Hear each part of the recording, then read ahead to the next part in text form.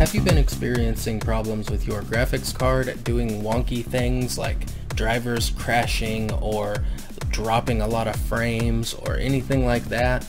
And you are just 100 fucking percent positive it is not your expensive nice piece of hardware that you just shelled out like 400 fucking dollars for. I'm gonna show you exactly what you can do to see if you're right.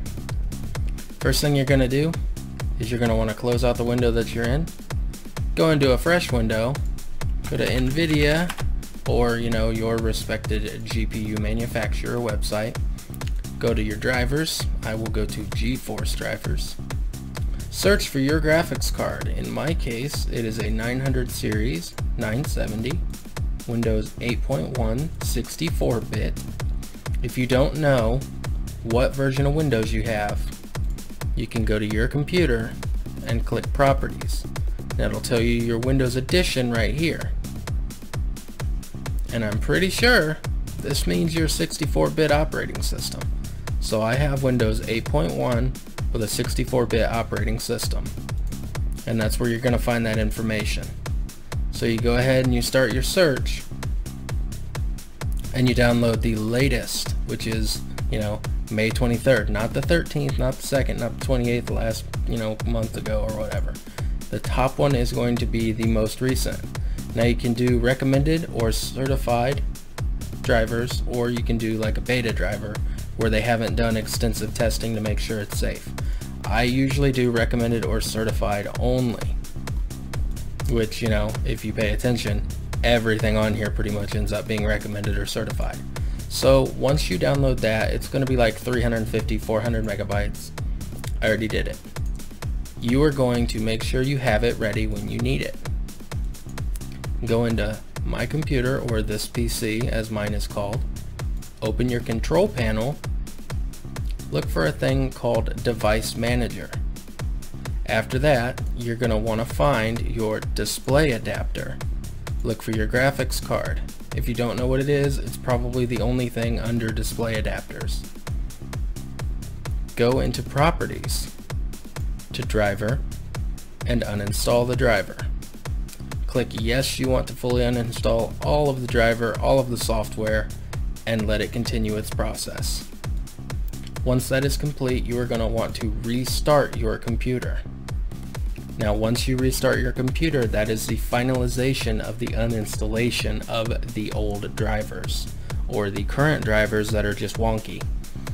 Once it does that, it's going to restart to a weird desktop where all the icons are huge and everything's freaky looking because, oh my god, I uninstalled the brains of my graphics card. Yes, you did, but that's okay. Windows will fix the resolution after about a minute, and if it doesn't, you can just kind of open up like, you know, Google Chrome or something, and it will take you to where you need to be. Once that is completed and your resolution pops back to normal, the new hardware wizard is done. Now, it will not install new drivers while the new hardware wizard is freaking out. It will tell you unable to install at this time, new hardware wizard is running, detected, or whatever it says. Once that is complete, you can go ahead and reopen your drivers and you can install from there. There will be two options. One is a recommended installation. The second one is a custom installation.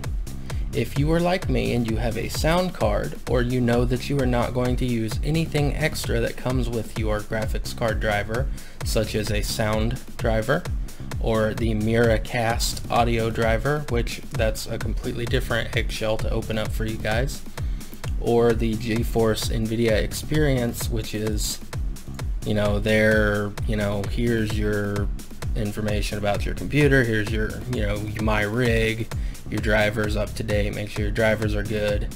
I mean, it tells you settings for games, for NVIDIA Shield, streaming, all that crap. You can get in there and do all of that with the NVIDIA GeForce Experience. If you don't want that, you can just install the basic driver and you can be happy, which is great. Do, what, do whatever you want to do. It's your computer. If you don't want all the extra bells and whistles, you can just install the driver and not have any issues whatsoever. It will work fine. You will just need to manually, to my knowledge, check for new drivers every month, I would say. I would do it every month, like once a month.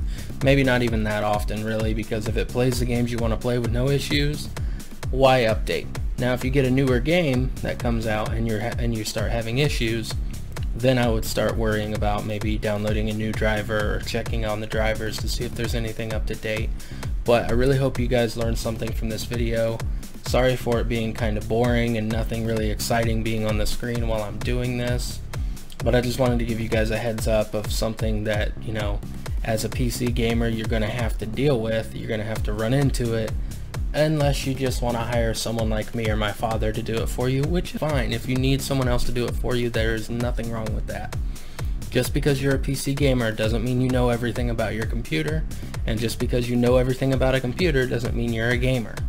Vice versa, it, it kind of molds together after a while because eventually you're going to need to upgrade something, and if you don't have the money to pay someone on top of new hardware, you're going to have to, you know, do it.